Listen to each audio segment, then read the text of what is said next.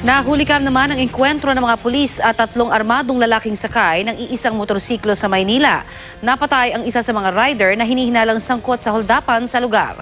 Balitang hatid ni Mav Gonzalez.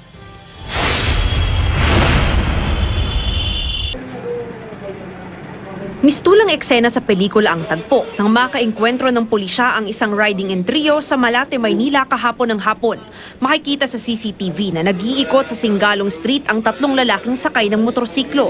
Pinahinto sila ng dumaang police mobile. Dahil bukod sa walang helmet, tatlo silang sakay ng motorsiklo. Nilapitan sila ng bagong talagang commander ng Adriatico PCP. Nilapitan ko. Sabi ko, anong problema? Bakit ah, wala kayong ano, wala kayong ah, ah, helmet? Biglang nakita ko yung ah, yung isa, eh bumunot, nakita ko may baril ka, na may baril ka agad siya.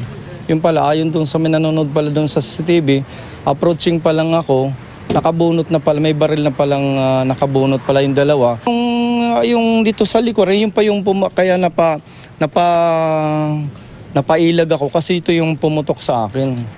Pinaputukan ng pulis ang sospek. Mabilis umandar ang motorsiklo para tumakas kaya nahulog pa sa motorsiklo ang angkas nito.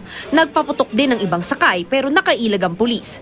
Sa isa pang kuha ng CCTV, mag-isa na lang ang nagmamaneho ng motorsiklo. Maya-maya pa, humabol ang pangatlong sakay ng motorsiklo na iika-ika dahil may tama na rin sa paa. Tsaka sila tumakas. Hinabol pa sila ng mga pulis pero hindi na inabutan. Patay ang nakaupo sa gitna matapos magtamo ng apat na tama ng bala sa dibdib at likod.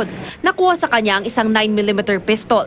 Walang nakuhang anumang posibleng pagkakakilanlan sa lalaki, maliban sa tato na reyes sa leeg.